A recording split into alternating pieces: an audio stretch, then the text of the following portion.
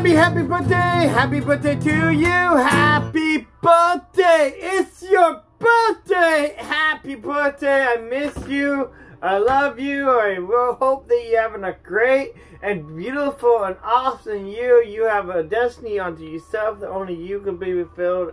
And I just want to take this time in this moment just to appreciate you for being you and all the beautiful, wonderful things you do. I miss you. Make sure you take the time to be my friend and be friends to all those that you love and care about and do whatever that you do in this world to make Ward a better place for all of us. And the best thing you can do is the best thing you can do. So yeah, I don't know. But I just take the time to wish you a happy B-Day and I hope you know you celebrate another year of being on this planet and being alive and think about who you are and why you're here.